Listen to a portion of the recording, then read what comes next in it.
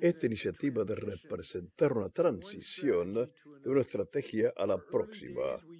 Al principio usábamos distanciamiento social, ha sido frustrante, pero ha sido muy eficaz.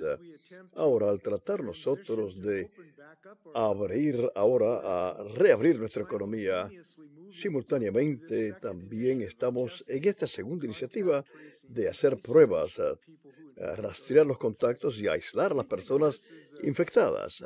Pensamos que esto es un arma inteligente contra este, este virus. Es algo inteligente porque está ubicada ah, con estas personas positivas y si tiene exitoso nos permitirá reabrir la economía.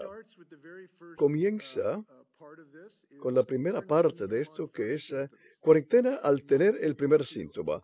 Las personas tienen que aislarse tan pronto como tengan los síntomas, incluyendo en su casa, aunque antes de tener los resultados de las pruebas, porque hemos visto que las personas pueden ser muy infecciosas muy al principio de estar contaminadas. El segundo paso es hacer muchas pruebas. Estamos desarrollando nuestras pruebas, aumentándolas en el estado de Washington para poder hacer pruebas con alteración rápidamente para llevar los resultados a las personas a la mayor brevedad posible.